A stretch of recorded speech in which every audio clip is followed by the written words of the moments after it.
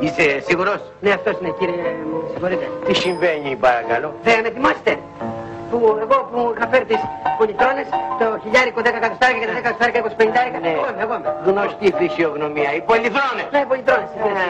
Παλιές πολυτρώνες. Ναι, για αυτές πο- τις παλιές πολυθρόνες. Ξέρετε, ενδιαφέρον να τις αγοράσω. Μπορώ να τις δω. Έτσι αγοράστε. Μάλιστα. Αργήσατε κύριε. Γιατί; Τις πούλησα. Γιατί δεν διαβιασύνη, Πουλήσατε. κύριε, γιατί δεν διαβιασύνη. Όπως τις πουλήσατε εσείς, τις πούλησα κι εγώ. Τέτοια κορόιδα είμαστε και δύο. Και δεν μου λέτε, Ορίστε. θυμάστε σε ποιους τις πουλήσατε. Ε, Μ' αρέσει που έχεις καλό μνημονικό. Θες δώσεις το Ναι, μυαλό μπράβο. σου λιγάκι ένα. Να σας πω, με αυτές τις πολυθρόνες συνέβη και κάτι πολύ περίεργο. Περίεργο, Ναι, τι δηλαδή. περίεργο. Δηλαδή μόλις μου τις πούλησε ο κύριος, τις πούλησα κι εγώ αμέσως. Αμέσως. Αμέσως και σε τέσσερις διαφορετικούς αγοραστάς. Διαφορετικούς; Ναι, αλλά Παναγία μου. δεν έχει σημασία. Πώς δεν Πώς έχει δεν έχει σημασία; Δηλαδή λέω δεν έχει σημασία.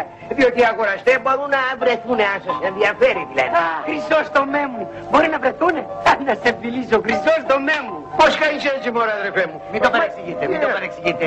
Είναι ο τύπος του, είναι ενθουσιώδης Ναι, τύπος. τέτοιος είμαι. με- Ε. Το φυσικό μου είναι τέτοιο, το φυσικό μου. Ε.